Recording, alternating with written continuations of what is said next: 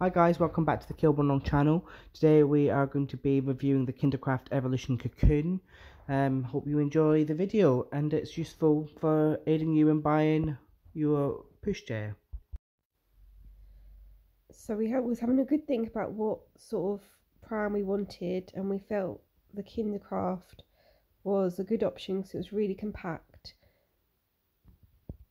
It also has the option to attach a carry cot, which we really wanted for baby, but we didn't want to have to store a big um, solid carry cot piece that we know is only going to be used for the first six months. So the um, the carry cot that came with this pram is quite soft. You know what I like about this pram is that I, again I like them leather leather right handles, Jen. It gives you a bit better grip. Yeah, it does look really smart. We went for the grey option, which uh, came with the the brown leatherette handles and bar. And the clips here that you can see in this, this section here, they're quite simple to put, you know, to snap together. And there's just that little black button in the, in the middle to take out, isn't it? Yeah. It's got nice padding on the straps as well to keep baby comfortable.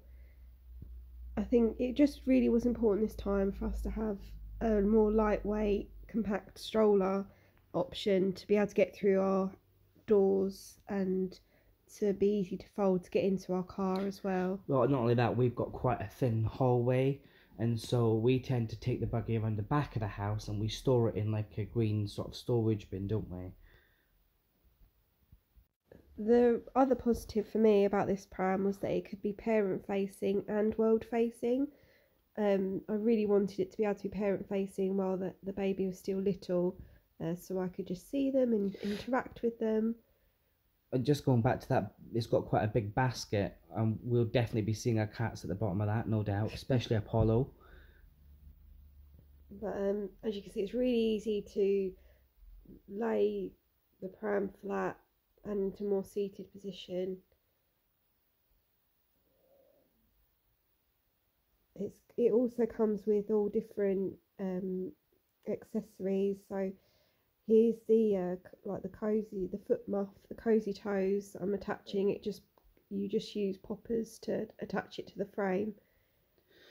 I noticed it does actually come with a cup holder as well, but we didn't get any footage of that, did we?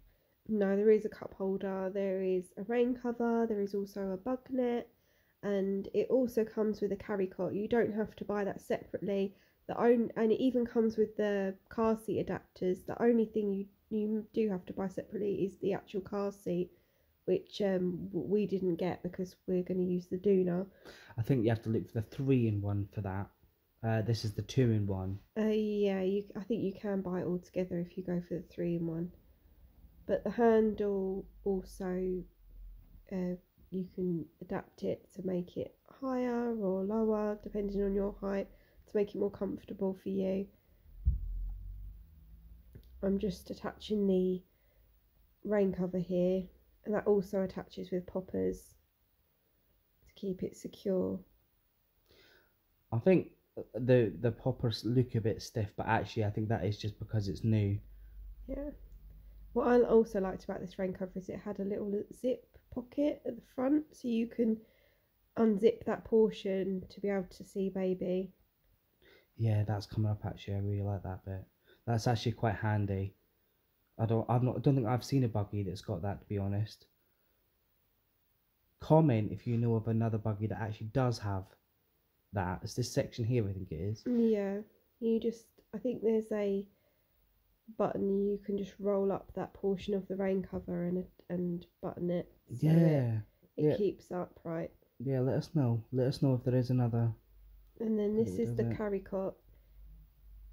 It comes with um, pieces you can slide into pockets at the side to make it more structured, but it is actually quite soft. And when I was reading the information, it says you can put this in the washing machine. It just means it's so much easier to store because you you can just fold it away The carry cot attaches to the frame uh, by using clips that, that you clip underneath. So you have to lay the seat flat like so. and just pop the carry cot on top. It's really easy. There are two little loops for the top um, clips to slide through before clipping them together so it makes the carry cot more secure to the frame.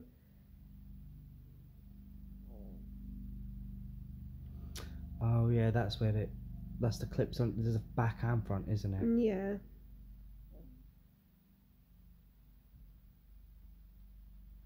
Again, it seems just a bit tight. I think it's just because it's new though. The other thing I really liked about this pram was it has a really nice hood that goes really far down because sometimes I found with previous prams the hoods just weren't quite long enough to keep the sun out of baby's eyes. I also really like that the wheels are not ones you need to pump up. We've had one of those sort of prams before as well, and if you get a puncture whilst you're out, Anyway, guys, thanks for watching this video. Um, like and subscribe. Um, we'll be uploading more uh more reviews. Uh, not all on baby stuff, but probably quite a lot on baby stuff because Jen's pregnant.